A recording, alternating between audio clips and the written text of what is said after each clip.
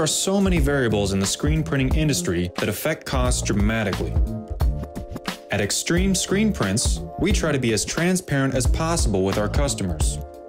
We show you where our costs lay, where you can save some money, and ultimately, the best way to get the best print possible.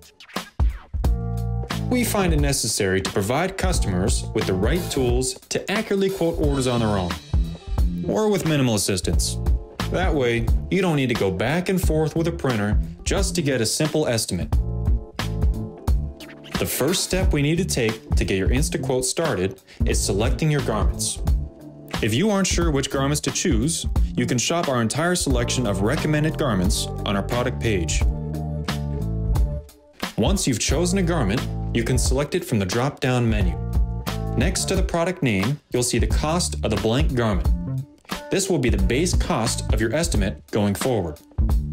I'm going to select the Bella Canvas 3001 because it's a premium, high quality t-shirt. The next step is to select your quantity discount.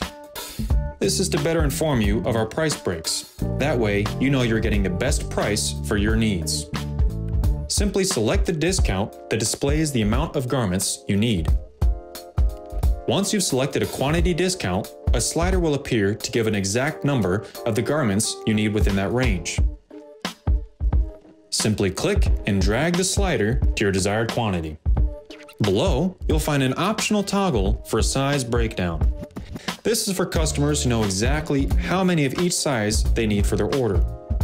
No worries if not though, this is completely optional. Simply click on the toggle and fill in the quantities. These should add up to your total quantity from the previous section. If there are any discrepancies, a CSR will follow up with you and clarify the desired amount. Next, you'll be asked to choose a print style. If you're unsure, visit our services page for more details. Screen printing is commonly priced based on color count. Please do your best to estimate how many colors are in your design and drag the slider to the color count for each location. Below the slider, you'll find two input fields for size. This is just to give us more information ahead of time and to save some time down the road. Depending on the size and location of the print, you may be asked some additional questions, such as if it's a pocket print, a jumbo print, or a long sleeve print. Now it's time to upload any art or mock-ups you can provide for the estimate. Again, this is mostly to save time down the road and help us get started on your order. However, it also gives us the ability to give a much more detailed estimate and possibly save you some money by checking color count accuracy. Before we move on, we ask you to detail any other necessary information regarding the garments, print locations, or art in the notes section. Now it's time to choose your desired finishing services. If you're unsure, you can visit our services page for more details. Here you will see the additional cost of just the finishing services to give you a better idea of where you can save some money.